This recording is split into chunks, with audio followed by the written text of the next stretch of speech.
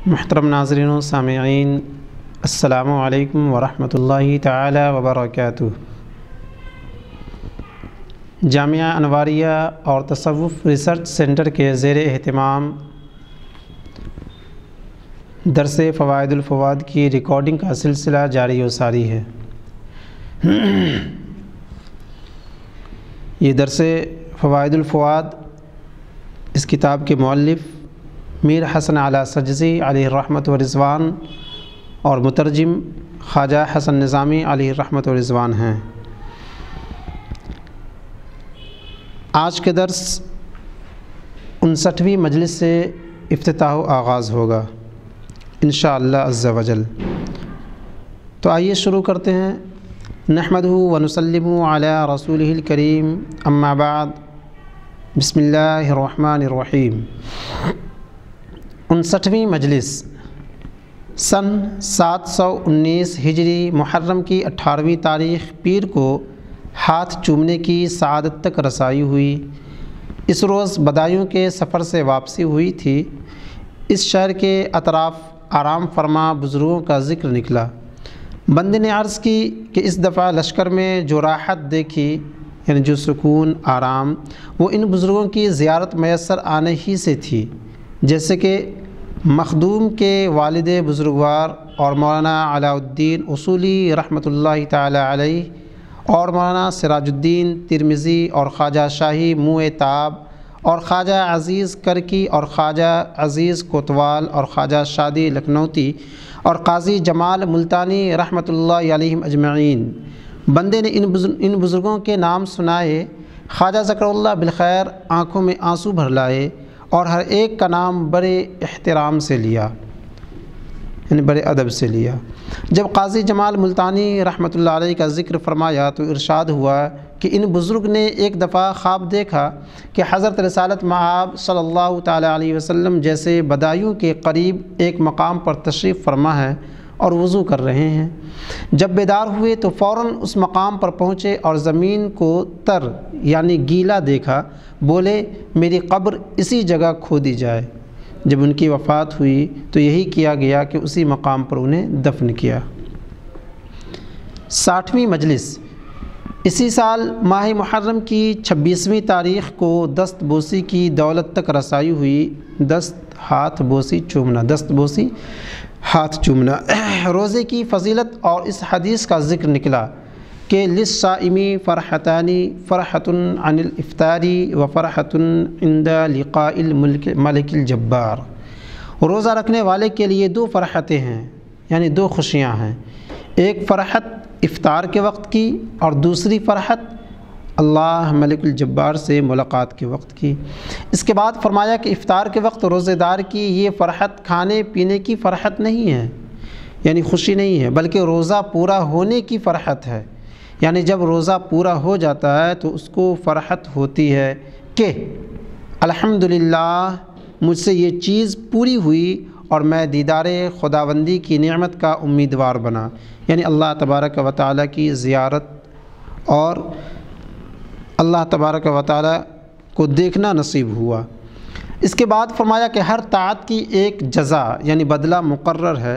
चूँकि रोज़े की जज़ा दीदार इलाही की नेमत है, इसलिए रोज़ा पूरा होने पर रोज़ेदार इस नेमत की उम्मीद से खुश होता है। इस दरमियान इस हदीस का ज़िक्र आया कि असौमली वाना अजजीबी रोज़ा मेरे लिए होता है और मैं ही उसकी जज़ा देता हूँ। हाजरीन में से एक शख्स ने कहा कि यह हदीस इस तरह भी सुनी गई है कि अस्साइमुली यानी रोज़ादार मेरे लिए है। ख्वाजा ज़करल्ला बिलखैर ने तबस्सुम फरमाया, यानी मुस्कुराया और कहा, फिर तो अना अज्ज़ील्ला मैं ही उसका बदला हूँ कहना चाहिए। इसके बाद इन साहब की बात की असलाह फरमाई कि अज्जी अज्जी बिही की बा लाम के माने में आई है। यानी अज्जी बिही में जो बा है, वो लाम के माने में है। रोज़ी की मुनासबत से सब्र का ज़िक्र निकला। फरमाया कि सब्र कैद के माने में आया है। जैसे कि पैगंबर सलाम ने फरमाया है कि इस इसबिर वक़तुल्क़ातिल पकड़ने वाले को कैद करो और कातिल को कत्ल करो। उसके बाद इरशाद हुआ कि इस हदीस की शान नज़ुल है। हुआ ये था कि रसूल सलाम के ज़माने में कोई शख्स तलवार खींचे, किसी शख्स का पीछा कर रहा था और वो शख्स तलवार कशीदा आदमी के सामने से भाग रहा था। तलवार कशीदा वही तलवार खींचे हुए, ताने हुए। एक शख्स बढ़ा और उसने भागने वाले को पकड़ कर खड़ा कर लिया और तलवार वाले आदमी ने आकर भागने वाले को कत्ल कर दिया। ये ख़बर रसूल वसलाम को पहुंचाई गई। हुक्म हुआ कि जिस शख्स ने भागने वाले को पकड़ कर रोका था, उसको कैद करो और कातिल को कत्ल कर दो। इस हुक्म को इस इबारत में अदा फरमाया कि इसबिरसाबिरा वक्तुलकातिल वक्तुलकातिल रोकने वाले को कैद करो और कातिल को कत्ल करो। फिर ये ज़िक्र आया कि रसूल वसलाम ने बहुत जगह वादा फरमाया है कि जो जो शख्स फलां काम करेगा, वो कल बहिश्त में मेरे साथ एक जगह होगा। और इस हदीस इस हदीस को बयान करते वक्त दोनों उंगलियों यानी अंगुश्त शहादत और बीच की उंगली को मिलाकर इशारा फरमाया कि ऐसे। शहादत की उंगली इस उंगली को कहते हैं और बीच की उंगली ये। इन दोनों को मिलाकर इशारा फरमाया। ख्वाजा ज़करल्ला बिलखैर ने फरमाया कि ये इशारा इस बात के लिए काफ़ी नहीं है कि मैं और वो एक जगह होंगे, जिस तरह के ये दो उंगलियाँ यकजा हैं, यानी इकट्ठी हैं। ये इशारा दर्जे के बारे में है, यानी इस तरह जो दर्जे में मेरे लिए होगा, उसी दर्जे का दर्जा उसको दिया जाएगा। क्योंकि लोगों की उंगलियों में तो दरमियान की उंगली, शहादत की उंगली से बुलंद होती है, लेकिन रसूल वसलाम की अंगुश्त शाह अंगुश्त शहादत और दरमियान की उंगली दोनों बराबर थीं। इकसठवीं मजलिस। इसी साल माह सफ़र अल्लाह इसे साथ, खैर और कामयाबी अख्ताम तक पहुँचाए। कि तेरहवीं तारीख़ जमेरात को कदम बूसी की सदत तक रसाई हुई। बेगुनाही और तोबा का ज़िक्र निकला कि पीर हरी रहमतुल्लाह अलैह, जिनका नाम हज़रत अब्दुल्ला अंसारी है, ने फरमाया है कि बख्शिश की दो चीज़ें हैं और ये कम हासिल होती हैं कि या तो शुरू में गुनाह से महफूज रहे या आखिर में तोबा नसीब हो। यहाँ से तोबा और तकवा का ज़िक्र आया। फरमाया कि मुत्तकी वो होता है कि किसी भी आलूदगी से आलूदा ना हुआ हो और तायब वो होता है कि आलूदा हुआ हो और फिर तौबा करे। आलूदा यानी किसी गुनाह में मुलविस हो जाना। इस बारे में बहुत सी बातें कही गई हैं। बाज़ का कहना है कि मुत्तकी और तायब दोनों बराबर हैं। मुत्तकी यानी परहेजगार, ताइब यानी तौबा करने वाला, रुजू करने वाला अल्लाह ताला की तरफ़ लौटने वाला। बाज़ कहते हैं कि ताइब मुत्तकी से बेहतर है, क्योंकि वो गुनाह का मज़ा चख कर तायब होता है। जो मज़ा चख चुका हो और फिर पलट आए, वो उससे मज़बूत होगा जिसने गुनाह का मज़ा बिल्कुल ही नहीं चखा। और बाज़ ने कहा है कि मुत्तकी तौबा करने वाले से अफजल है। इस कौल की सेहत के बारे में एक हिकायत बयान फरमाई कि एक दफ़ा दो आदमियों में बहस हो गई, यही तकरार हो गई। एक कहता था कि ताइब से मुत्तकी बेहतर होता है दूसरा कहता था कि मुत्तकी से ताइब बेहतर होता है। जब ये गुफ्तु उनके दरमियान बढ़ी तो दोनों उस ज़माने के पैगंबर के पास पहुँचे। पैगंबर यानी नबी। और इस बारे में फ़ैसला चाहा। पैगंबर वक्त ने कहा कि मैं ख़ुद फ़ैसला नहीं दे सकता। वही का इंतज़ार करो। चूँकि अम्बिया कराम के पास वही जो अल्लाह तबारक व ताली की तरफ़ से इल्का होता था अल्लाह तबारक व ताली की तरफ़ से इशारा होता था खा वो कौल के ज़रिए हो या दिल में डायरेक्ट वो अल्फाज इल्का कर दिया जाए, डाल दिया जाए। यानी अल्लाह का कलाम। तो वही का इंतज़ार करता हूँ। देखो क्या हुक्म आता है। इस दौरान इन पैगंबर के पास हुक्म आया कि इन दोनों को वापस कर दो और कहो कि तुम दोनों जाओ और आज रात को एक जगह रहो। कल जब घर से बाहर निकलो तो जो शख्स सबसे पहले तुम्हारे सामने पड़े, उससे मसले का हल दरियाफ़्त करो। ये दोनों आदमी उस फरमान, इस फरमान के मुताबिक वापस चले गए। दूसरे रोज़ दोनों घर से बाहर निकले तो एक आदमी सामने आया। उन्होंने पूछा कि अय ख्वाजा, हमको एक मुश्किल दरपेश है। यानी हमको एक मुश्किल सामने आन पड़ी है। आप हल करें। वो बोला कि, क्या मुश्किल दरपेश है? इन्होंने कहा कि हमको ये मालूम करना है कि जिस शख्स ने कभी गुनाह न किया हो, वो बेहतर है, या वो जिसने गुनाह किया और तौबा कर ली। उस आदमी ने कहा कि अय ख्वाजगान मैं तो एक जुलाहा हूँ। मैंने इल्म हासिल नहीं किया है। मैं इस मुश्किल को कैसे हल करूँ? अलबत्त इस कदर मैं जानता हूँ कि जो कपड़ा बुनता हूँ, उसमें अक्सर तार टूट भी जाता है। मैं उसको जोड़ देता हूँ और ये बे टूटे तार के मुकाबले में ज़्यादा मज़बूत हो जाता है। ये दोनों वापस आए और उन पैगंबर की, इन पैगंबर की खिदमत में पहुँचे और सारा माजरा कह सुनाया। पैगंबर बोले कि तुम्हारा जवाब यही था। फिर दुनिया की और इस पर ख़ल्क़ के मकरूर हो जाने की हिकायत आई। मकरूर यानी मतकबर इस बारे में क़स्सा सुनाया कि एक दफ़ा हज़रत ईसा सलाम ने एक औरत को देखा बुढ़िया, बदहाल, काली, बदसूरत, इससे पूछा कि तू कौन है? बोली कि मैं दुनिया हूँ। हज़रत ईसा सलाम ने दरियाफ़्त किया कि तूने कितने शौहर किए? बोली, बेहद, बेअंदाज़ा। अगर कुछ गिनती और हद हो तो बताऊँ भी। इसके बाद हज़रत ईसा सलाम ने पूछा कि क्या उन शौहरों में से किसी ने तुझे तलाक़ भी दी? कहने लगी, नहीं, सबको मैंने ही मार डाला। इस बात की मुनासबत से फ़रमाया कि दरवेशी मुकम्मल राहत भी है और सारी आफतों से महफूज भी। दरवेश के काम की ज़्यादा से ज़्यादा सख्ती ये है कि किसी रात उसे फाका हो, यानी कुछ खाने को ना मिले। और जिस रात उसे फाका होता है, उसके लिए एक मराज होती है, यानी एक बुलंदी होती है।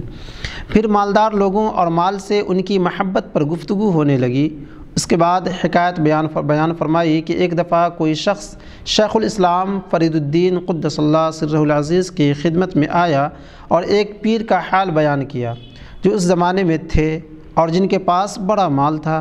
कहने लगा उन शख्स के पास बहुत माल है लेकिन फरमाते हैं कि मुझे माल को ख़र्च करने की इजाज़त नहीं है। शेख शेख़ुलस्लाम फ़रीदुद्दीन क़ुद्दसल्लाज़ ने जब ये बात सुनी तो मुस्कुरा कर फरमाया कि ये सब बहाने हैं। यानी हीला है। माल को बचा कर रखने का एक तरीक़ा, सबब। फिर फरमाया कि अगर ये शेख अगर ये शेख मुझे ख़र्च का वकील बना दें तो मैं दो तीन रोज़ में उनका सारा ख़जाना खाली कर दूँ और एक दिरम भी उनकी इजाज़त के बग़ैर न दूँ। फिर इस बात का ज़िक्र निकला कि देने वाला खुदा है। जब खुदा ताला किसी को देता है तो रोक कौन सकता है? इस दरमियान हकायत बयान फरमाई कि सुल्तान शमसुद्दीन ने बदायूं में दो दरवाज़ों के साथ, जो कि खेल का दरवाज़ा था, दो दरवाज़ों के साथ खेल का एक मैदान तैयार कराया था। वहाँ गेंद चौगान खेलता था। एक रोज़ मैदान में गेंद खेल रहा था। एक दरवाज़े के करीब पहुँचा तो वहाँ एक कमर झुके बूढ़े को देखा। उस बूढ़े ने कुछ मांगा और सुल्तान ने कुछ ना दिया। इसके बाद दूसरे दरवाज़े पर पहुँचा। वहाँ एक तंदुरुस्त एक तंदुरुस्त तवाना जवान को देखा। तवाना यानी मज़बूत। सुल्तान शमसुद्दीन के पास एक थैली थी। उसको पलट कर कुछ सोने की अशरफियाँ निकाली और उस जवान को दे दी और कहा कि इस बूढ़े ने मुझसे कुछ मांगा था, मैंने कुछ नहीं दिया। और इस जवान को बे मांगे अता कर दिया। अगर मर्ज़ी मेरी चलती तो उस बूढ़े को देता। बस जिसको अता करता है, खुदा करता है, मैं क्या करूँ? एक दूसरी शिकायत इसी सुल्तान शमसुद्दीन की बयान फरमाई कि वो एक दफ़ा बदायूं में आया, इसको चंद आम पेश किए गए। वहाँ आम बहुत मीठे होते हैं। जब इसने खाए तो पूछा कि इन्हें क्या कहते हैं? बताया गया कि इन्हें आनब कहते हैं। शायद तुर्की ज़बान में आनब किसी बुरी चीज़ को कहते हैं। सुल्तान ने कहा कि इसको नगज़, नगज़क कहना चाहिए। जब ये नाम उसकी ज़बान पर आया तो फिर यही नाम पड़ गया।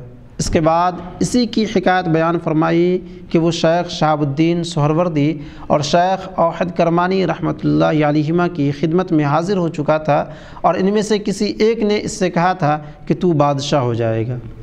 फिर तुर्क, फिर तर्क दुनिया की गुफ्तु निकली। फरमाया कि कैथल में एक बूढ़े शख्स थे। इनको शेख सूफ़ी बुधनी कहते थे। वो बड़े तारिक दुनिया थे। यहाँ तक सत्र औरत भी ना था। सत्र औरत यानी वो हिस्सा, बदन का वो हिस्सा जिसे छुपाना फ़र्ज़ वाजिब हो। तो ये एक ऐसे बुज़ुर्ग थे जिनके पास कपड़ा भी ना था, यानी वो लिबास भी नहीं पहनते थे जिसे सत्र छुपा सके। नाप से घुटनों तक बदन ढकना सत्र औरत कहलाता है और मर्द के लिए शरअन ज़रूरी है। फिर फरमाया, अगर कोई भूख मिटाने के लिए इतना खाने को भी छोड़ दे जिससे जिस्म जान का रिश्ता कायम रहता है तो हलाक हो जाएगा और सज़ा पाएगा। और इतने कपड़े को जिससे नंगापन छुप जाए, छोड़ेगा तो उसकी सज़ा भी पाएगा। मगर वो ऐसे थे कि उन चीज़ों से भी दूर रहते। तरक दुनिया की मुनासबत से शेख़ुलस्लाम फ़रीदुद्दीन सर्रज़ीज़ की हिकायत बयान फरमाई कि जो भी ज़रो नमत यानी जो भी अल्लाह तबारक व ताली ने दिया है मालो ज़र, उनके पास आता, वो उन सबको ख़र्च कर देते। यहाँ तक कि उनके इंतकाल के वक्त तजहीज़ तकफ़ीन के सामान से भी माजूरी थी। यानी इतना भी माल नहीं था, जिससे आपके कफन दफन का इंतज़ाम किया जाता। चुनाचे कुछ कुछ ईंटें जो लहद के लिए चाहिए होती हैं, लहद यानी कब्र, वो भी ना थी। कच्ची ईंटों से जो दरवाज़ा बनवा, बनाया गया था, उस दरवाज़े को गिरा दिया गया ताकि उसकी ईंटें लहद में इस्तेमाल हों। बासठवीं मजलिस। इसी साल रबी अव्वल की अट्ठाईसवीं तारीख़ इतवार को हाथ चूमने की दौलत हाथ आई। उन बादशाहों का क़स्सा निकला जिनको शेर सुनने का शौक़ था।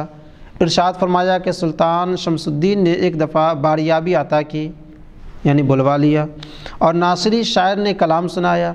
इन अशार का मतला ये था ए फितन अज नहीब तो जिनहार खास्ता, तेगे तो माल पील, ज़िकुफ़ार खास्ता।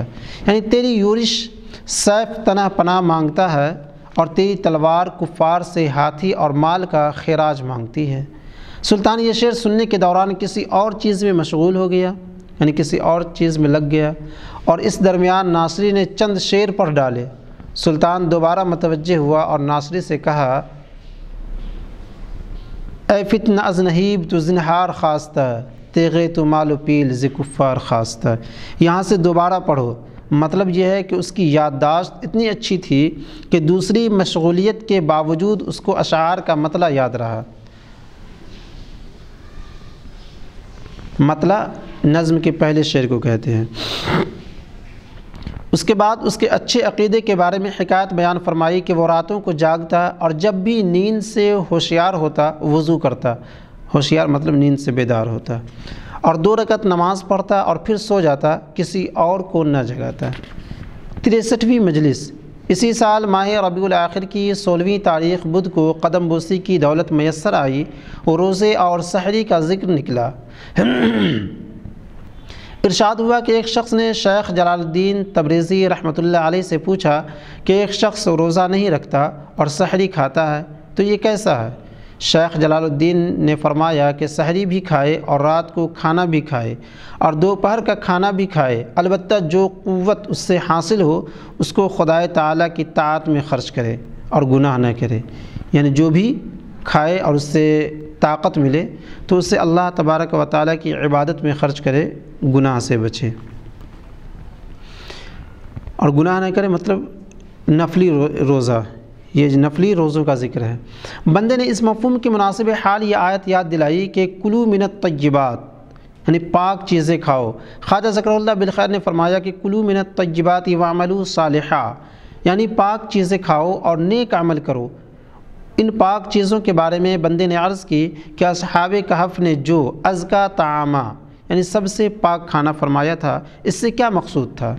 फरमाया कि वो ऐसा खाना चाहते थे जो तबीयतों को मरगूब हो, यानी जिसकी तबीयत ख्वाहिश करे। फिर ज़बान मुबारक से इरशाद हुआ कि बाज़ लोगों के कौल के मुताबिक इस खाने से मुराद चावल थे।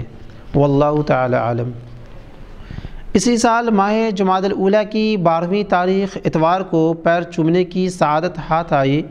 इन लोगों उन लोगों का ज़िक्र निकला जो हमेशा याद हक़ में मुस्तरक रहते हैं। इसके बाद हकायत बयान फरमाई कि किसी शख्स ने एक साहिब हाल दरवेश से दरख्वास्त की कि जिस वक्त आपको हक़ ताला की हुजूरी मैसर आए तो मुझे भी याद करके दुआ फरमाइएगा। उन दरवेश ने जवाब दिया कि इस इस वक्त पर, उस वक्त पर अफसोस है कि जिसमें मुझे तेरी याद आए।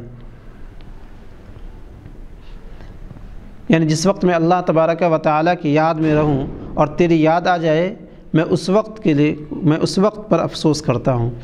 इस दरमियान ख्वाजा अज़ीज़ करकी रहमत का ज़िक्र आया, जो बदायूँ में आराम फरमा, यानी दफन हैं। उनकी बुज़ुर्गों की बहुत, उनकी बुज़ुर्ग, बुज़ुर्गी की बहुत ज़्यादा तारीफ़ फरमाई। बंदे ने अर्ज़ की कि यह भी कहा जाता है कि वो ज़िंदा चिड़ियों को निगल जाते। यानी यूँ ही बगैर चबाए हुए अंदर पेट के अंदर दाखिल कर लेते। और फिर किसी और वक्त एक एक करके उसी तरह ज़िंदा हलक से बाहर निकाल लेते और उड़ा देते। ख्वाजा ज़करल्ला बिलखैर ने फरमाया कि मैंने ख़ुद तो नहीं देखा, लेकिन सुना है। इस मौके पर फरमाया कि ये भी कहा जाता है कि वो सर्दी की रातों में गर्म तनवर के तनवर के अंदर उतर जाते। और दूसरे दिन सुबह बाहर निकलते। फिर फरमाया कि वो कर के रहने वाले थे। शुरू ज़माने में वो फ़िरोज़े बेचते थे। फ़िरोज़ एक मोती है। और बंगरी, यानी दस्तबंद की किस्म से जो औरतें पहनती है, फ़रोख्त करते थे और इस दौरान भी मशगूल बहक रहते थे। यानी इस दौरान भी अल्लाह तबारक व को याद करते, यानी इबादत करते थे। शायद कर के हाकिम ने इनको सताया और कैद कर दिया। इसके बाद हाकिम को बताया गया कि ये नेक शागिल जवान हैं। यानी ये बंदा नेक है और मशगूल रहता है। यानी अल्लाह तबारक व ताली की इबादत में लगा रहता है। तो इसने हुक्म दिया कि इन्हें रिहा कर दिया जाए यानी छोड़ दिया जाए। जब इन्हें बताया गया कि आपको हाकिम ने रहाई दे दी है, यानी छुटकारा दे दिया है, बाहर आ जाइए तो बोले, मैं जब तक इसके घर बार को बर्बाद न कर लूँ, हरगिज़ बाहर नहीं आऊँगा। अलक़स्सा, उस हाकिम पर कोई सख्त आफत आई, उस वक्त ये उस कैद से बाहर निकले। यानी जब तक कि उसे मुसीबत नहीं आई, आप कैद खाने में थे। आप कैद खाने से उस वक्त निकले जब वो सख्त उस पर कोई आफत आ गई। पैंसठवीं मजलिस। इसी साल माह जमात अव्वल की तेईसवीं तारीख़ जमेरात को हाथ चुमने की दौलत तक रसाई हुई। सफ़र हज और ज़्यारत काबा का ज़िक्र निकला। फरमाया कि ज़्यारत काबा को जाने वाले लोग जब वापस आते हैं तो हर जगह उसी का ज़िक्र करते हैं और ज़्यादातर उसी की याद में रहते हैं और ये अच्छा नहीं है। हाजरी में से एक शख्स ने कहा कि हज के रास्ते में मंजिल की सख्ती और पानी की तंगी की वजह से कभी कभी नमाज़ कज़ा हो जाती है। इस पर ख्वाजा ज़करल्ला बिलखैर ने तंगी यानी कमी। इस पर ख्वाजा ज़करल्ला बिलखैर ने शिकायत बयान फरमाई कि लाहौर में एक वाइज़ थे। वाइज़ यानी मुकर्र नसीहत करने वाला, तकरीर करने वाला। जो वाज अच्छा कहते, उनकी बात में तासीर थी। मखलूक उनको, उनके बयान में रिक्कत व राहत हासिल होती थी। मखलूक को उनके बयान में रिक्कत व राहत हासिल होती थी। रिक्कत, यानी अल्लाह तबारक व ताली के इस ज़िक्र को सुन करके दिल काँपने लगना और सुकून मिलता था। फिर वो हज को गए। जब वापस आए तो उनके कलाम में वो ज़ौक़ राहत बाकी ना रही, बाकी ना रहे थे। उनसे कहा गया कि आपकी गुफ्तु में पहले जैसी चाशनी नहीं रही। बोले कि हाँ मुझे भी मालूम है कि किस नहूसत की वजह से चाशनी नहीं रही। इस वजह से कि इस सफ़र के दौरान रास्ते में मेरी दो नमाज़ें वक्त पर न हुई थीं, इसलिए चाशनी चली गई। छियासठवीं मजलिस इसी साल माह जमातुल आखिर की पाँचवीं तारीख़ मंगल को हाथ चूमने की दौलत तक रसाई हुई। पीरी मुरीदी के आदाब का ज़िक्र आया और इस बात का भी कि पीर को मुरीद से किसी किस्म का लालच नहीं करना चाहिए। इस वक्त शिकायत बयान फरमाई कि एक दफ़ा किसी मुरीद ने अपने पीर की खिदमत में चंद खरबूजे लाकर पेश किए। पीर ने नहीं लिए और उसको वापस कर दिए। एक शख्स ने सवाल किया कि पीर मुरीद का नजराना क्यों रद्द करे?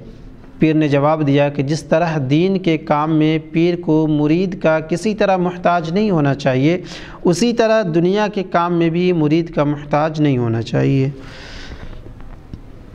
फिर इस बात का ज़िक्र निकला कि मखदूम की खिदमत में मुरीद आते हैं और सद तज़ीम करते हैं। ख्वाजा ज़करुल्ला बिलखैर ने फरमाया कि मेरा जी तो चाहता है कि लोगों को मना करूँ, लेकिन चूँकि मेरे शेख के सामने भी इसी तरह होता था, इसलिए मना नहीं करता। खादिम ने इस पर अर्ज़ किया कि जो ग़ुलाम मखदूम से वाबस्ता हैं और जो मुरीद हुए हैं जो ग़ुलाम मखदूम से बंधे हुए हैं, मुरीद हो चुके हैं और बैत की है, उनकी ये इरादत और बैत पीर के इश्क़ महब्बत से इबारत है। बस जहाँ इश्क़ महब्बत का दखल होता है, वहाँ ज़मीन पर सर रखना एक मामूली सी खिदमत है। एक हकीर से खिदमत है। ख्वाजा ज़करुल्ला बिलखैर ने इस बात की मुवाफ़त में फ़रमाया कि मैंने शेख़ुलस्लाम फ़रीदुद्दीन क़ुद्दसल्लाज़ीज़ से सुना है कि एक दफ़ा शेख अबू सईद अबुल खैर रहमतुल्लाह अलैह किसी रास्ते में सवार जा रहे थे कि एक मुरीद सामने आया और ये मुरीद पैदल था। इसने शेख के घुटने को चूमा। शेख ने फरमाया कि और नीचे। मुरीद ने शेख के पैर को चूमा। शेख ने फरमाया, और नीचे। मुरीद ने घोड़े के घुटने को बोसा दिया। शेख बोले, और नीचे। मुरीद ने घोड़े के सुम को बोसा दिया। शेख ने कहा, और नीचे। मुरीद ने ज़मीन चूमी। उस वक्त शेख ने इरशाद किया कि ये जो मैं तुझसे कहता जाता था, और नीचे और नीचे तो इससे मेरा मकसद ज़मीन चूमना नहीं था, बल्कि ये था कि तू जितना झुकता था, उतना ही तेरा दर्जा बुलंद होता जाता था। सुबहान अल्लाह फिर उन दरवेशों की हकायत आई जिनको शेख शेख़ुलस्लाम फ़रीदुद्दीन क़ुद्दसल्ला सर्रज़ीज़ ने खिलाफत अता फ़रमाई थी। ज़बान मुबारक से इरशाद हुआ कि इनमें से एक दरवेश थे जिनको आरिफ कहते थे। इनको सिस्तान और उनके हदूद की तरफ़ भेजा था और बैत लेने की इजाज़त दी थी। और ऐसा हुआ कि एक मुल्क, एक मलिक यानी बादशाह हाकिम या नवाब मुल्तान और उच्चा की तरफ़ था और ये आरिफ उस मुल्क के इमाम थे, उस मलिक के इमाम थे, या किसी और तरह का ताल्लुक़ रखते थे। अलगरज एक दफ़ा उस मलिक ने सौ तिन के, यानी एक सिक्का जो सोने का है, इन आरिफ के हाथ शेख़ुलस्लाम फ़रीद्दीन क़ुद्दसल्लाज़ीज़ की खिदमत में भेजे। इन्होंने उसमें से पचास तिन के अपने पास रख लिए और पचास तिन के शेख की खिदमत में पेश किए। शेख मुस्कुराए और फरमाया कि तुमने भाइयों की तरह तकसीम कर लिया। ये आरिफ शर्मिंदा हो गए। फ़ौर बकिया पचास दिन के भी शेख की खिदमत में पेश कर दिए और बड़ी आजज़ी के साथ माफ़ी मांगी और मुरीद होने की दरख्वास्त की। ये पहले से मुरीद थे, यहाँ पर मुरीद से मुराद तजदीद मुरीद, तजदीद बैत। और मुरीद होने की दरख्वास्त की। शेख ने दस्ते मुबारक बैत के लिए उनको दिया और वो महलूक हुए, यानी फिर दोबारा सर मुंडाया। इसके बाद शेख की खिदमत में ऐसे पक्के हुए कि पूरी इस्तकामत हासिल कर ली, यानी पूरी मजबूती पायदारी ठहराव। चुनानचे आखिर में शेख ने इन्हें बैत की इजाज़त अता फ़रमाई और सिस्तान की तरफ़ भेज दिया। सड़सठवीं मजलिस। इसी साल माह रजब की तेईसवीं तारीख़ पीर को दस्तबोसी की दौलत तक रसाई हुई, गुरूर का तस्करा आया। गुरूर यानी तकबर और अहले रौनत और उन लोगों का जो अपने को कुछ समझते हैं। अहले रौनत वही अहले तकबर अहले मगरूर। इरशाद हुआ कि हज़रत आयशा रदी अल्लाह तह से पूछा गया कि आदमी बुरा कब हो जाता है?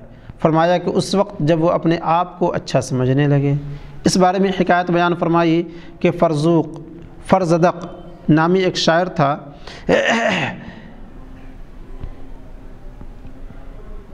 एक दफ़ा वो और हज़रत ख्वाजा हसन बसरी रदी अल्लाह तन इत्तेफाक से एक इज्तम में इकट्ठे हुए। इस इज्तम में किसी शख्स ने बुलंद आवाज़ से कहा कि इस मजमे में वो भी है जो सबसे अच्छा है और वो भी है जो सबसे बुरा है। इसी वक्त फ़रजदक ने ख्वाजा हसन बसरी रदी अल्लाह तन से मुखातिब होकर कहा कि आपने सुना ये शख्स क्या कहता है?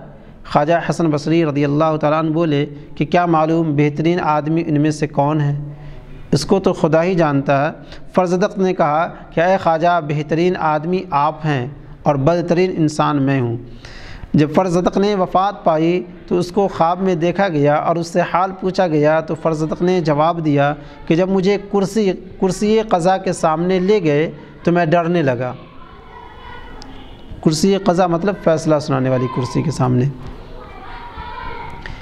मगर मुझे हुक्म मिला कि हमने तुझे उसी वक्त बख्श दिया था जब तूने अपने आप को इंसानों में बदतरीन आदमी समझा था। बंदे के दिल में एक बात थी, उसको उसको इस रोज़ अर्ज़ कर दिया और वो बात ये थी कि कब्र का तावीज़ जो बनाते हैं, कब्र का तावीज़ जो बनाते हैं, वो ख़राब व खस्ता हो जाए तो क्या उसका फिर बनाना आया है? इरशाद हुआ कि नहीं। जो कब्र ख़राब हो जाए उसकी फिर तामीर नहीं करनी चाहिए। जिस कदर फरसूदगी ज़्यादा होगी, रहमत की उम्मीद भी ज़्यादा होगी। यहाँ से उन लोगों का ज़िक्र निकला जो अपने दफन के लिए पैरों और बुज़ुर्गों के कदमों में जगह चाहते हैं। इस मौके पर हकायत बयान फरमाई के बदायूं में एक बुज़ुर्ग मौलाना सराजुद्दीन तिरमिज़ी नाम के थे। वो इस इरादे से मक्के की तरफ़ रवाना हुए कि अगर क़ज़ा का पैगाम आ जाए तो उनका मदफन वहीं बने। मगर जब ज़ियारत काबा को गए, क़ज़ा का पैगाम, यानी मौत का पैगाम। मक्के की तरफ़ रवाना हुए कि अगर क़ज़ा का पैगाम आ जाए तो उनका मदफन वही बने। मगर जब ज़ियारत काबा को गए तो उस तो इस आदत को हासिल करने के बाद वापस आ गए और बदायूं में सुकूनत इख्तियार कर ली। मतलब वहीं के मुकीम हो गए, वहीं रहने लगे। इनसे कहा गया कि क्या आप इस नीयत से नहीं गए थे कि मर जाएँ? तो वहाँ आपको दफन करें। बोले हाँ। लेकिन मैंने एक रात को ख्वाब में देखा कि अतराफ़ से बहुत से जनाजे लाए लाए जा रहे हैं और उन जनाज़ों के मर्दों को मक्के के आसपास दफन कर रहे हैं। और बाज़ मुर्दे जो मक्के के चारों तरफ़ दफन है दफन हैं, इनको निकाल निकाल कर ले जा रहे हैं। मैंने दरियाफ़्त किया कि ये क्या क्या माम, ये क्या मामला है? बताया गया कि वो गुरु जो इस मकाम की अहलियत रखता है, वो चाहे यहाँ से दूर वफ़ात पाए, उसके लिए हुक्म है कि हम यहाँ ले आएँ। और जो गुरु इस मकाम के लायक नहीं, वो चाहे यहाँ सो रहा हो, उसके लिए हुक्म है कि उसे अतराफ़ ले जाओ। मौलाना सराजुद्दीन ने फरमाया कि जब मुझ पर यह हकीकत खुल गई तो दोबारा बदायूँ में आ गया, क्योंकि अगर मैं इस, उस जगह के लायक हूँगा मेरी गरज़ अपने आप हासिल हो जाएगी। यानी मेरा मकसद ख़ुद ब खुद हासिल हो जाएगा इन अज़्ज़ा वजल अल्लाह तबारक व की मदद और तोफ़ी से किताब फ़वादुलफ़वाद का चौथा हिस्सा मुकम्मल हो गया। ख़त्म शुद ई सहफ़ सदक़ सफ़ा के अज़ो जान हसन रास तरब, हसन रास तरब, दरस शम्बा दुम अज़माह शवाल हफसद व तारीख़ अरब। ये सदक़ सफ़ा के सहीफ़े पूरे हुए, जिनसे हसन की रूह को मसरत है, यानी खुशी है, तारीख़ अरब के सात सौ उन्नीसवीं बरस माह शवाल की दूसरी तारीख़ मंगल को। उस वक्त से कि इन कलिमात को लिखना शुरू किया गया था, आज तक के ये पाए तकमील को पहुँचे पूरे बारह साल हो गए। यानी पूरे बारह साल लगे इन मलफूज़ात को लिखने में। और ये बारह साल का सरमाया, जो कठाली कठाली कठाली कठाली, दरअसल कठाली कहते हैं उस बर्तन को जिसमें सोनार सोने को गलाता है और साफ़ करता है। और ये बारह साल का सरमाया, जो कठाली कठाली जोड़ा गया, बारह माह का खरा सोना है, जिसे वक्त के सर्राफ़ों के सामने रखा गया है। यानी वक्त के सर्राफ़ों, यानी जौहरी, जो सोना परखते हैं। वक्त के सर्राफ़ों के सामने रखा गया है तो यहाँ पर सर्राफ़ से मुराद वो नेक हजरात, वो अहल दिल जो इस किताब से फ़ायदा उठा सके और इन मलफूज़ात वाक़ात से सही हकीकत तक पहुँच सके और अल्लाह तबारक व ताली का नेक बंदा बन सके। सर्राफ़ों के सामने रखा गया है, उम्मीद उम्मीद है कि दिलों के सिक्के, महब्बत, ईमान की मोहर लग कर पूरा मोल भी पाएँगे, यानी पूरा कीमत भी वसूल करेंगे।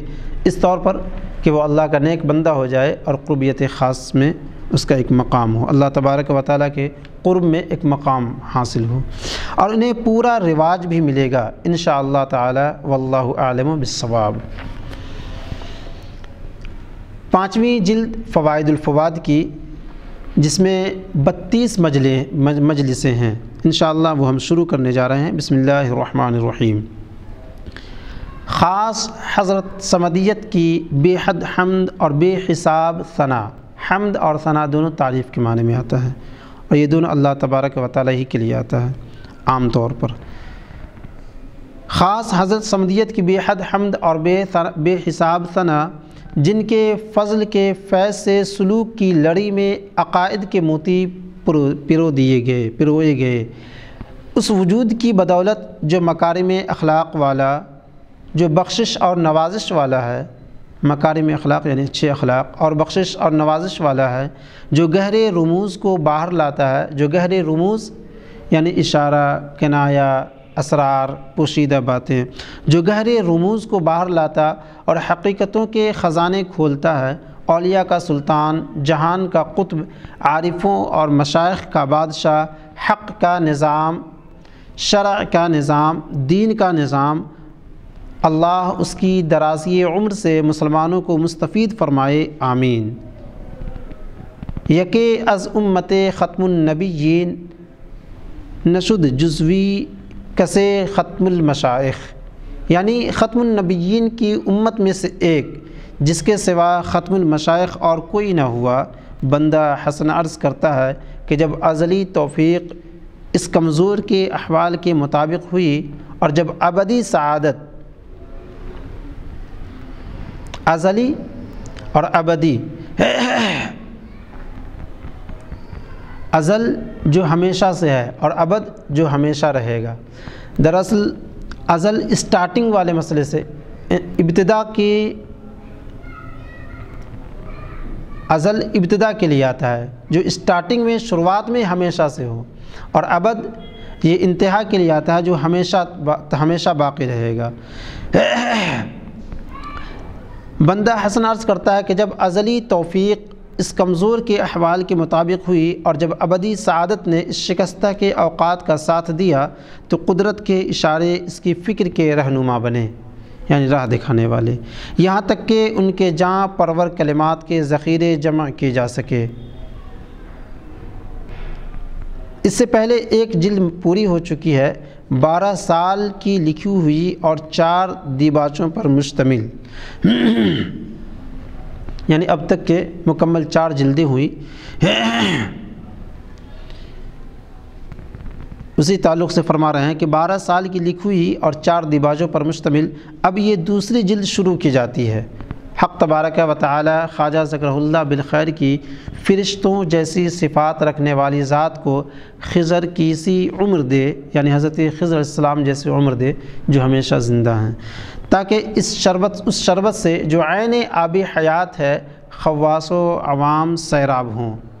उम्मीद है कि मानी के इस जाँ, बख्श जाम का एक घूंट जो अरवाह की शराब है, सुनाने वाले को, सुनने वाले को और लिखने, पढ़ने वाले को राहतें पहुँचाएगा इन वजल तो पाँचवीं जिल्द की ये पहली मजलिस। शुरू करते हैं। पहली मजलिस। यक माह मुबारक शाबान सात सौ उन्नीस हिजरी इतवार को कदम बूसी की दौलत हाथ आई। बंदे के दिल में एक हदीस थी, मखदूम की खिदमत में उसे पढ़कर सुनाया कि मन अहब्बुलमी वलमाई लम युक्तब ख़तीअतु ख़तीअत जो शख्स ख़तीअतु जो शख्स इल्म और से महब्बत करता है, उसकी ख़ता नहीं लिखी जाती। फिर बंदे ने अर्ज़ किया कि इस हदीस से उम्मीद है कि इल्म और की महब्बत के सबब मेरे गुनाह नहीं लिखे जाएँगे।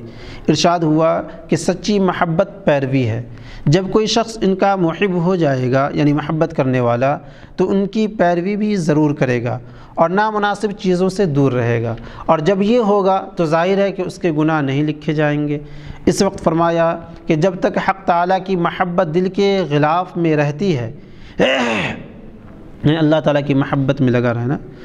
अल्लाह ताला की महब्बत दिल के ग़िलाफ़ में ग़िलाफ़ में रहती है, गुनाह का इम्कान रहता है। लेकिन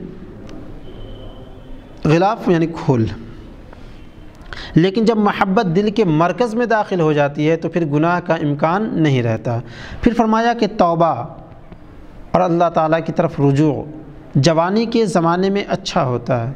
बुढ़ापे में तौबा नहीं करेंगे तो क्या करेंगे? इस वक्त दो शेर ज़बान मुबारक पर लाए। चूँ पीर शुदी वबर सरे अंजाम आई आई सरे हर्फ खेश नाकाम आई। सासी हक़रा तरी तीरा राई, माशूक़ा ख़ुद दरब नवाई। यानी जब बूढ़े हुए और अंजाम के करीब पहुँचे तो नाकामी के साथ अपने ठिकाने पर आए और कुछ बन न पड़ा तो हक़ ताला ही को अपना महबूब बना लिया। यानी मज, बुढ़ापे में इंसान एक तरह से मजबूर हो जाता है। तब क्या करे? चलो अल्लाह तबारक व की इबादत करे और उसका करीब बने। इसलिए कहा गया कि जवान, उसकी इबादत, उसकी तौबा बहुत ज़्यादा मकबूल मरूफ़ है। इसके बाद फरमाया कि हक़ ताला अपने बंदे से उसकी जवानी के बारे में पूछेगा। यूस अलमर मर मिन शबाब ही जवाब तलबी होगी आदमी से उसकी जवानी की बाबत, यानी उसकी जवानी के ताल्लुक़ से इंसान से पूछा जाएगा। इस दरमियान एक दानिशमंद मौलवी आए और ख्वाजा ज़करल्ला बिलखैर के कदमों में सर रख दिया और अर्ज़ की कि मैं जो मुना, मैं जो जनाब का मुरीद हुआ हूँ, यानी मैं जो आपका मुरीद हूँ, इसकी वजह बयान करनी चाहता हूँ। हुआ ये कि मैं एक दफ़ा अफ़गानपुर में दरिया के किनारे पर था मगरिब की नमाज़ का वक्त हुआ तो मैं नमाज़ में मशगूल हो गया। मुझे आपकी मुबारक सूरत नज़र आई। नमाज़ ही में मुझ पर हैरत तारी हो गई। और इससे पहले बंदे को आपसे इरादत का ताल्लुक़ नहीं था। अलगरस जब आपका मुबारक चेहरा देखा तो करीब था कि नमाज़ ही में मैं बेकाबू और बेखुद हो जाऊँ। मगर फिर जब मगरिब की नमाज़ पढ़ चुका तो दिल में सोचा कि मुझे मखदूम आलमियान की खिदमत में जाना चाहिए और ग़ुलामों की डोरी में बंध जाना चाहिए। इस वक्त मखदूम की खिदमत में आया और बयात की। जब वो दानशमंद आलिम ये हिकायत पूरी कर चुके तो ख्वाजा ज़करल्ला बिलखैर ने फरमाया कि एक दफ़ा कोई शख्स दिल्ली से रवाना हुआ ताकि अजोधन जाए और शेख़ुल इस्लाम फ़रीद्दीन क़ुद्दसल्लाज़ीज़ के सामने तौबा कर ले। दौरान सफ़र एक आवारा गाने वाली उसके हमरा हो गई, यानी उसकी साथी बन गई। उसकी सा, उसका साथ पकड़ ली और ये गाने वाली बड़ी कोशिश में रही कि किसी तरह उस मर्द से ताल्लुक़ पैदा कर ले, यानी उससे लगाव पैदा कर ले, रब्त। ये मर्द चूँकि सच्ची नीयत रखता था, इसलिए उस हराम कार की तरफ़ ज़रा रागब नहीं हुआ, यानी थोड़ा भी रागब नहीं हुआ माइल नहीं हुआ। हराम कार यानी गलत काम की तरफ़। यहाँ तक के रास्ते की मंजिलों में से एक मंजिल में ऐसा इत्तेफाक हुआ कि ये मर्द और वो मुगनिया, यानी वो गाने वाली, एक ही कजावे में सवार हुए। कजावा जो जानवर के पीठ पर सवार होने के लिए, बैठने के लिए जो कपड़े वगैरह या कुछ भी रखा जाता है, जिसमें वो बैठते हैं, उसे कजावा कहते हैं। ये गाने वाली मर्द के पास आकर बैठ गई इस तरह के उनके दरमियान कोई पर्दा और रुकावट नहीं थी। शायद इस हाल में मर्द का दिल किसी कदर मायल हुआ, यानी झुका उसकी तरफ़, और उसने कोई बात की या हाथ उसकी तरफ़ बढ़ाया। इतने में मर्द ने देखा कि कोई आया और उसके मुँह पर तमाचा मारा, यानी थप्पड़, और कहा कि फ़ुला की खिदमत में तौबा की नीयत से जा रहा है, फिर ये क्या है? यानी इस तरह की हरकत, वो शख्स फ़ौर मुतनबे हो गया, यानी होशियार हो गया। और फिर उस औरत की तरफ़ ना देखा। अलक़स्सा जब शेख़ुलस्लाम फ़रीदुद्दीन क़ुद्दसल्लाज़ीज़ की खिदमत में पहुँचा तो पहली बात जो शेख ने उन उससे कही वो ये थी कि खुदा ताला ने उस रोज़ तेरी खूब हिफाजत फरमाई। यानी वो जो तमाचा लगा था मुतनबी जो हुआ था, इशारा जो मिला था। फिर हज़रत रसालत सलाम के कमाल फसाहत का ज़िक्र आया। फरमाया कि सहाबियों में से एक सहाबी थे इन्होंने शायद एक भे, एक भेड़ बेच दी थी और पछताए थे और रसूल वसलाम की खिदमत में आकर अपना क़स्सा सुनाया था।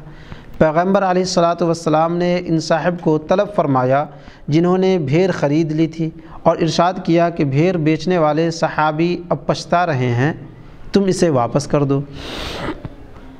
इन सहाबी का नाम नुआम था।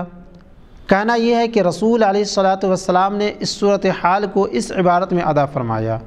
नुआमुन बेतुम व बेगनमिन बेतुम फ़रदूह यानी इन्होंने बड़ी फसाहत के साथ चार जगह तसहीफ़ें मुतसिल बयान फरमाई।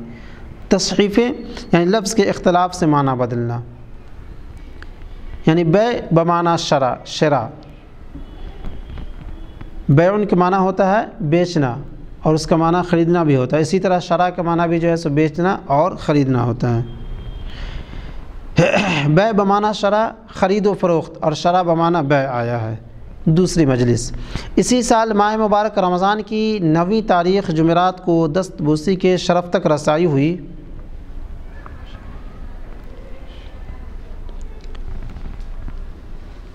तो बै और शरा, दोनों तकरीबन कह लीजिए कि एक ही माना में भी आता है और दोनों अलग अलग माना में भी आता है। यानी दोनों का माना बेचना और ख़रीदना भी आता है, जिस तरीके से शरा का बै का माना बेच, बेचना और ख़रीदना, उसी तरह शरा का माना भी बेचना और ख़रीदना।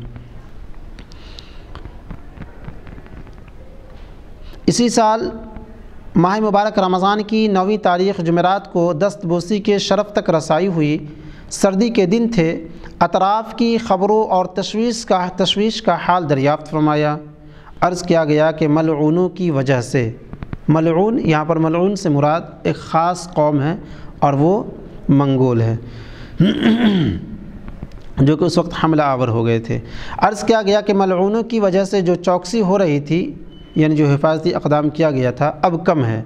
इस बात की मुनासबत से शिकायत बयान फरमाई कि शेर खां जो ऊँचा और मुल्तान का वाली था, शेखुल उच्चा, जो उच्चा और मुल्तान का वाली था, शेखुल इस्लाम फरीद्दीन क़ुद्दसल्लाज़ीज़ से ज़्यादा एतक़ाद न रखता था। चुनानचे शेखुल इस्लाम ने बारहा उसके बारे में ये दो मिसरे फरमाए। अफसोस के अजहाल मिनत नेस्त ख़बर वागे ख़बरत शवद के अफसोस खोरी। अफसोस तुझको मेरे हाल की ख़बर नहीं है, और जिस वक्त ख़बर होगी कितना अफसोस करेगा। इसके बाद फरमाया कि जब शेख़ुलस्लाम फ़रीदुद्दीन क़ुद्दसल्लाज़ीज़ दुनिया से तशरीफ़ ले गए तो उसी साल काफिर मंगोल इलाक़े में पहुँच गए। फिर शेख बहाउद्दीन ज़करिया रहमतुल्लाह और उनकी बुज़ुर्गी का ज़िक्र आया। फरमाया कि बुखारा से एक मौलवी साहब बड़े आलिम आए हुए थे। वो शेख बहाउद्दीन की ज़ियारत को गए। शेख ने उन्हें देखा कि दस्तार बांधे हुए हैं और उसकी छोर पीछे लटका रखी है और सर पर चोटी। शेख ने कहा कि दो सांप साथ लिए क्या आए हो? यानी एक तो दस्तार की छोर और दूसरे बालों की चोटी। ये मौलवी साहब फ़ौर शेख के सामने महलूक हो गए। यानी सर मुंडा लिया यानी बैत हो गए। ख्वाजा ज़करल्ला बिलखैर ने फरमाया कि शेख बहाउद्दीन रहमत नफ्स गिरा। रखते थे, यानी नफ्स को पकड़ना, हकीकत को जान लेना। दूसरा किस्सा यह सुनाया कि एक शख्स बड़ी इबादत गुजार मुल्तान में थे, उनको सुलेमान कहते थे। शेख के सामने उनका बहुत ज़िक्र हुआ। शेख बाउद्दीन रहमत उनके पास गए और कहा कि उठो, दो रकत नमाज़ पढ़ो, ताकि तुम्हें देखूँ कि किस तरह पढ़ते हो। वो साहब उठे और दो रकत नमाज़ अदा की, मगर दोनों कदम इस तरह नहीं रखे, जिस तरह तरीक़ा है। पैरों के दरमियान जिस तरीके से दोनों कदम दोनों कदम के दरमियान जो फ़ासला होना चाहिए, जिस तरह रखने चाहिए, उस तरह नहीं रखें। यानी पैरों के दरमियान फ़ासला कम या ज़्यादा रखा। शेख ने उनसे कहा कि इतनी जगह खाली रखो, इससे ज़्यादा और कम नहीं। इसके बाद उस शख्स ने फिर नमाज़ शुरू की। फिर भी इस तरह कदम नहीं रखे, जैसा कि शेख ने बताया था। दूसरी दफ़ा भी इसको समझाया। अलगरज हर चंद उससे कहा गया कि पाँव इस तरह रखो, मगर उससे न हो सका। शेख ने फरमाया जा उच्चे में जाकर रहो चुनानचा वो उच्चे चले, उच्चा चले गए। फिर शेख बहाउद्दीन ज़करिया रहमत के इंतकाल का ज़िक्र आया। फरमाया कि एक रोज़ कोई मुरीद एक ख़त लाया और शेख सदरुद्दीन अली रहमत रिजवान के हाथ में देकर कहा यह ख़त एक शख्स ने दिया है। और कहा है कि इसे शेख बहाउद्दीन की खिदमत में पहुँचा दो। शेख सदरुद्दीन ने जब ख़त का अनवान पढ़ा तो परेशान हुए और जाकर वो ख़त शेख बहाउद्दीन रहमत के हाथ में दे दिया। शेख ने उस ख़त को पढ़ा तो वो तड़पने लगे और नारे लगाए और रात को शेख का वाक़ इंतकाल हुआ। वाक़ बमाना इंतकाल रहमत ताली इस मौके पर फरमाया कि वो ज़माना क्या अच्छा ज़माना था जब ये पाँच बुज़ुर्ग हयात थे और वो पाँच ये हैं। शेख अबुलगैस यमनी और शेख सैफुद्दीन बाखरजी और शेख सादुद्दीन हमवै और शेख बहाउद्दीन ज़करिया और शेख़ुलस्लाम फ़रीदुद्दीन रहमतुल्लाहि अलैहिम अजमईन यहाँ से शेख सैफुद्दीन बाखरजी की हिकायत शुरू फरमाई कि उनकी आदत थी कि जब मगरिब की नमाज़ पढ़ लेते तो उसी वक्त सो जाते। यहाँ तक कि तिहाई रात गुज़र जाती, यानी रात का तिहाई हिस्सा, तीन हिस्सा। जब तिहाई रात गुज़र जाती तो उठते इमाम और मौज़िन हाज़िर होते ईशा की नमाज़ पढ़ते और सुबह तक बेदार रहते, यानी सुबह तक जागे रहते। इनकी सारी उम्र इसी तरह गुज़री। बंदे ने पूछा कि क्या वो सिमा सुनते थे? यानी क्या वो कवाली सुनते थे? फरमाया कि हाँ। मगर इस तरह नहीं, जैसे लोग मजलिस मजलिस मुरतब करते हैं, यानी मजलिस को तरतीब देते हैं, सजाते हैं। और लोगों को बुलाते हैं और दावत की तकरीब से जमा होते हैं और फिर समा सुनते हैं। इनके यहाँ ऐसा नहीं होता था।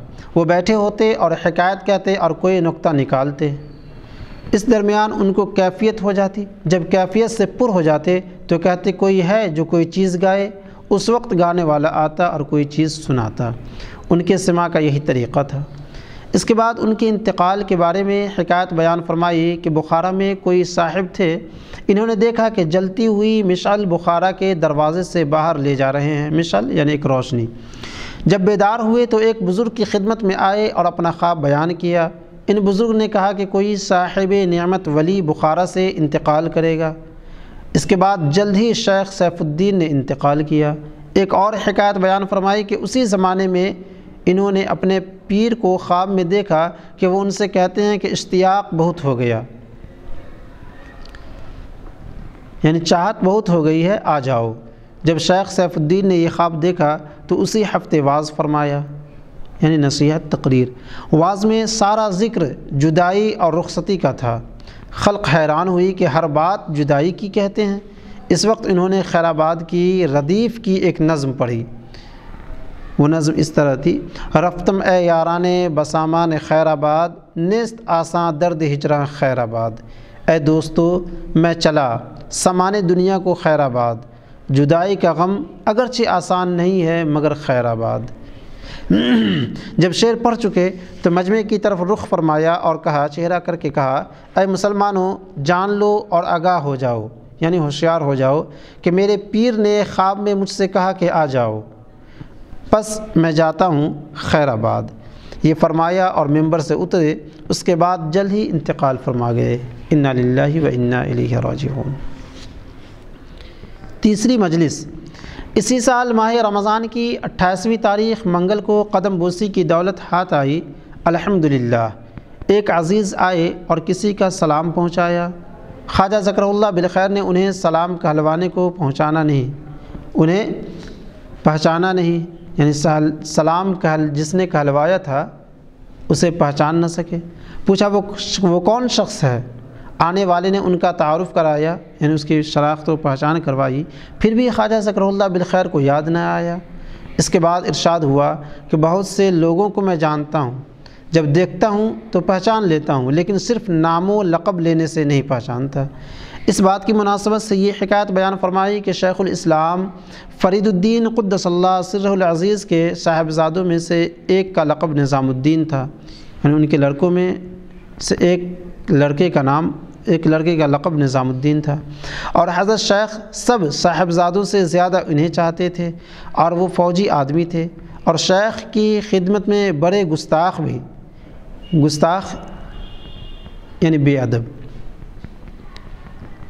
वो कुछ भी कहते, हद दर्जा चाहत की वजह से शेख हँसते और उनके कुछ कहने से रंजीदा ना होते। अलगरज़ ये साहबजादे एक दफ़ा सफ़र में गए, कुछ अरसे बाद किसी के ज़रिए शेख़ुलस्लाम को सलाम का हलवा भेजा। वो शख्स आया और शेख़ुलस्लाम की खिदमत में इन अल्फाज के साथ अर्ज़ दाश्त की कि मखदूम ज़्यादा निज़ामुद्दीन ने सलाम कहलवाया है। शेख ने पूछा, कौन शख्स? उस आदमी ने कहा, मखदूम ज़्यादा निज़ामुद्दीन। शेख ने फिर पूछा, किसको कहते हो? उस शख्स ने फिर अर्ज़ किया, मखदूम ज़्यादा निज़ामुद्दीन, आपके फ़र्जंद। इस वक्त शेख ने फरमाया हाँ। वो कैसा है? अच्छा तो है। ख्वाजा ज़करल्ला बिलखैर इन अल्फाज पर पहुँचे तो इरशाद किया कि देखो, याद हक़ में कैसे मुस्तरक रहते थे, यानी कैसे डूबे हुए रहते थे, कि अपने साहबजादे को भी इस कदर समझाने और तारफ़ कराने, तारफ़ के बाद पहचाना। यानी इतने ज़्यादा तारुफ कराने के बाद जो है सो अपने शहज़ादे को पहचान पा रहे हैं।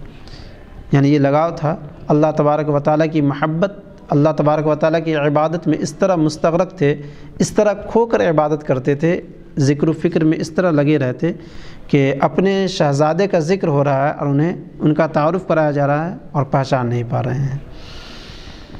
यहाँ से शेख बाउद्दीन ज़करिया रहमा वलगफ़रान की हिकायत शुरू फरमाई कि एक आदमी उनकी खिदमत में आया और किसी शख्स का सलाम पहुँचाया। शेख बहाउद्दीन ने पूछा कि ये कौन है? इस आने वाले ने तारफ़ कराया यानी उसका पहचान पहचान करवाया। शेख नहीं समझे। आने वाला बहुत सी निशानियाँ बताने लगा। शेख बाउद्दीन ने फरमाया कि ये सब कुछ कहने की क्या ज़रूरत है? क्या इसने कभी मुझे देखा है? इस शख्स ने कहा, जी हाँ। वह आपका ग़ुलाम और मुरीद है। शेख बोले, बस ये काफ़ी है। इसके बाद ख्वाजा ज़करल्ला बिलखैर ने शेख बाउद्दीन ज़करिया रहमत की ये हिकायत बयान फरमाई कि अगर वो किसी को कोई चीज़ देते तो उम्दा चीज़ देते, यानी बेहतर। इस जो उनके फ़र्जंदों को तालीम देते उन पर बड़ा करम फरमाते, सोना, चांदी उनके दामन में डालते। फिर हिकायत बयान फरमाई कि एक दफ़ा वाली मुल्तान को गले की ज़रूरत हुई।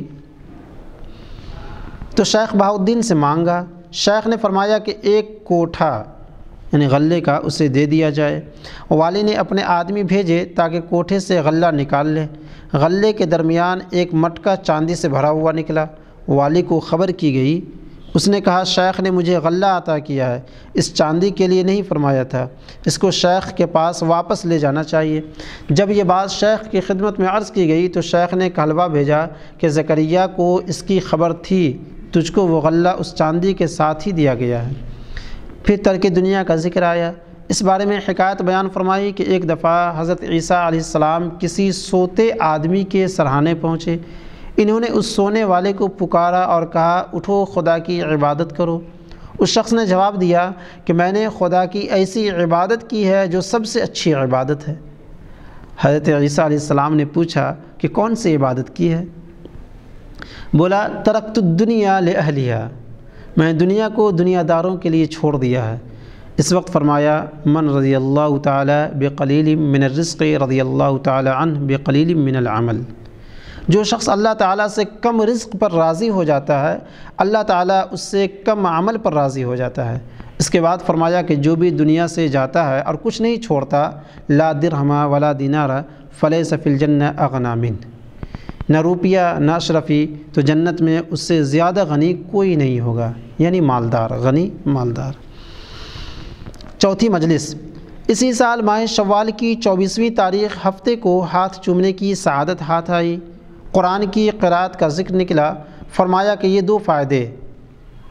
ये दो फ़ायदे मैंने एक किताब में ऐसे देखे जो और कहीं कम देखे हैं। एक इस आयत के बारे में व इदा रईत तुम्मा रईत नईमा व मुल्क कबीरा। अमीरमिन रदी अल्लाह तन मुल्कन कबीरा पढ़ते थे। दूसरे इस आयत, लक़द जाकुम रसूल मिन अनफुसिकुम इसको भी, मिन अनफसिकुम। पढ़ा है। और ये अनफस बाब तफजील का सेगा है, नफीस से। फिर इस बारे में शिकायत आई कि किसी इबादत गुजार से विरद और तात छूट जाए तो वो गोया मौत के बराबर है। इस वक्त फरमाया कि एक फ़ौजी शेख बहाउद्दीन रहमतुल्लाह अलैह की खिदमत में आया और बोला कि मैंने रात को ये ख्वाब देखा है कि मेरी नमाज़ कज़ा हो गई है। शेख ने फरमाया कि तेरा ख़ात्मा करीब है। तौबा कर ले। जब वो उठकर चला गया तो उनकी खानका का एक सूफ़ी आया। उसने भी यही ख्वाब देखा था। जब उसने अपना ख्वाब बयान किया तो शेख हैरान हुए कि वो शख्स तो फ़ौजी है। शायद जंग में मारा जाए और ये सूफ़ी सही सलामत है और कोई असर, यानी बीमारी, दुख, यानी कोई ऐसा असर नहीं दिख रहा है, बीमारी वगैरह का। बीमारी वगैरह नहीं रखता। इससे क्या कहूँ? इसी उलझन में थे कि ख़बर लाई गई कि वो फ़ौजी मारा गया और इस सूफ़ी की सुबह की नमाज़ कज़ा हो गई थी। ख्वाजा ज़करुल्ला बिलखैर जब इस बात पर पहुँचे तो आँखों में आँसू भर लाए और इरशाद किया कि देखो नमाज़ के छूटने को मौत के बराबर समझा गया है। फिर औ, फिर औराद की पाबंदी का ज़िक्र आया यानी विरद की जम औराद फिर औरात की पाबंदी का ज़िक्र आया, फरमाया कि अगर कोई शख्स किसी विरद को अपने आप पर लाजम कर ले और किसी दुख, बीमारी की वजह से उसको ना पढ़ सके तो इसको उसके अदाशुदा, यानी अदा किए हुए दफ्तर में लिख लेते हैं। अलबत्त बाज़ लोग विरद को लाजम नहीं करते। बस ये कहते हैं कि जो कुछ मैसर होगा पढ़ लेंगे। इस तरह विरद को लाजम कर लेने वाला अच्छा रहता है, क्योंकि किसी मजबूरी की वजह से विरद छूट जाए, तब भी उसको पढ़ा हुआ लिख लेते हैं। लेकिन जो विरद को मुकर ही ना करे, उसके लिए क्या लिखेंगे? इस दरमियान मुसबियात अशर। मुसबियात अशर, यानी ऐसी दस चीज़ें जिसे सात सात बार पढ़ा जाए। मुसबियात अशर की बहुत फजीलत बयान की। ये मुसबियात अशर असल में इसमें चंद सूरतें भी है, और दरुद शरीफ भी है, और चंद ज़िक्र भी है। इसकी हकीकत हज़रत ख़ज़र से है। जो हजूर सल्लल्लाहु अलैहि वसल्लम से से रवायत करते हैं वो। इस दरमियान मुसबियात अशर की बहुत फजीलत बयान की और फरमाया, और इसकी फ़जीलत में से एक सबसे बड़ी फजीलत यह है कि जो इसे पढ़ता है, हजूर सल्लल्लाहु अलैहि वसल्लम का दीदार नसीब होता है। फजीलत बयान की और फरमाया कि एक शख्स था जो बिला नागा मुसबियात अशर पढ़ा करता था। मुसबियात अशर पढ़ने का सबसे अच्छा वक्त, सबसे अच्छा वक्त क्या? इसे पढ़ने का जो वक्त कहा गया वो सुबह और मगरिब के वक्त कहा गया है। जो बिला नागा मुसबियात अशर पढ़ा करता था, एक दफ़ा इसका किसी रास्ते पर गुज़र हुआ, उसका किसी रास्ते पर गुज़र हुआ और लुटेरों का गुरोह उसे हलाक करने के लिए निकल आया। इस दरमियान दस हथियार बंद सवार ज़ाहिर हुए और उस शख्स को जो डाकुओं से रहाई दिलाई, यानी छुटकारा दिलाया और वो दस सवार नंगे सर थे। उस शख्स ने उनसे पूछा कि आप कौन लोग हैं? बोले कि हम मुसबियात अशर हैं। हम वो दस दुआएँ हैं जिनको तू हर रोज़ सात बार पढ़ता है। इस पर उस शख्स ने पूछा कि आप नंगे सर क्यों हैं? इन्होंने जवाब दिया, इस वजह से कि तू दुआओं से पहले बिसमीम नहीं पढ़ता। इस मौके पर बंदे ने अर्ज़ की कि बिसमीम कहाँ पढ़ें? इरशाद हुआ हर सूरत से पहले। फिर फरमाया कि काजी कमालुद्दीन जाफ़री बदायूं के हाकिम थे। उनके औरात बहुत थे। जजी की इस कदर मसरूफ़ियत और दूसरे कामों के बावजूद कुरान की तिलावत बहुत करते। यानी ये जज भी थे। इसकी मसरूफ़ियत के अलावा दूसरे काम भी ख़ासकर कुरान कुरान पाक की तिलावत वगैरह करते। अलगरज जब बूढ़े हुए तो इतने वजीफ़ों से माजूर हो गए। इनसे पूछा गया कि क्या हाल है? बोले कि मसबियात अशर पर इक्तफ़ा कर लिया। यानी यही मेरे लिए काफ़ी है। ये जाम औराद है। इसके बाद फरमाया कि इब्राहीम तैमी रहमत वासिलों में से एक बुज़ुर्ग थे। इनको काबे में हज़रत ख़ज़र मिल गए और इन्होंने हज़रत ख़ज़र से बख्शिश तलब की। बख्शिश बख्शिश तलब की। हज़रत ख़ज़र ने इन्हीं मुसबियात अशर सिखाए और कहा कि मैं हज़रत रसालत माब सल्लल्लाहु अलैहि वसल्लम से इनकी रवायत करता हूँ। पाँचवीं मजलिस। इसी साल माह शवाल की अट्ठाईसवीं तारीख बुध को कदम बोसी की दौलत तक रसाई हुई। इस बात का ज़िक्र आया कि आदमी को जो भी रंज और मशक्क़त पहुँचे, यानी जो भी तकलीफ़, गम पहुँचे, उसको चाहिए कि समझ ले कि ऐसा क्यों हुआ है। यानी आदमी की खैरियत इसमें होती है, यानी भलाई, अच्छाई, कि इस मशक्क़त से चौकन्ना हो जाए, यानी होशियार रहे। और जो शख्स ढटाई से काम लेता है, यानी अड़ करके, उसको कोई बुराई ऐसी नहीं पहुँचती, जो उसे बुराई वापस ले आए। और ये उसकी बदनसीबी होती है नौज़बिल्लिमिन हम इससे अल्लाह की पनाह मांगते हैं, क्योंकि इसकी रस्सी दराज की जाती है। दराज यानी लंबा। इस दरमियान शिकायत बयान फरमाई कि एक नेक और बुज़ुर्ग ख़ातून थी। मैंने उनको कहते सुना कि अगर मेरे पाँव में कांटा भी चुभता है तो मैं जान जाती हूँ कि किस वजह से चुभा है। इस वक्त फरमाया कि जब आयशा रदी अल्लाह पर वो तोमत लगाई गई और उसका क़स्सा तूल तवील है तो हज़रत आयशा मुनाजात में फ़रमाती थी कि इलाही मैं जानती हूँ। मुनाजात जो अल्लाह तबारक व से फ़रियाद करने के ताल्लुक़ से कहा जाता है, यानी वो जुमले, वो अशार, वो कलिमात जो अल्लाह तबारक व ताली से फ़रियाद किया जाए, जिन अल्फाज के ज़रिए से उसे मुनाजात कहते हैं। यानी अल्लाह तबारक ताली से बातचीत, अल्लाह ताला से फ़रियाद। जो मुनाजात में फरमाते हैं कि इलाही, मैं जानती हूँ कि ये इत्तेहाम मुझ पर क्यों लगा? इस वजह से कि रसूल वसलाम तेरी महब्बत का दावा फरमाते थे और किसी कदर महब्बत का झुकाव मेरी तरफ़ भी रखते थे। इतनी तहमत भी मुझ पर इसी बायस धरी गई। इस दरमियान एक अज़ीज़ कुछ फूल लेकर पहुँचे। उसकी मुनासबत से फ़रमाया कि पैगंबर इस्लाम ने फ़रमाया है, हब्बिबू इलैया मिन दुनिया कुम सलासुन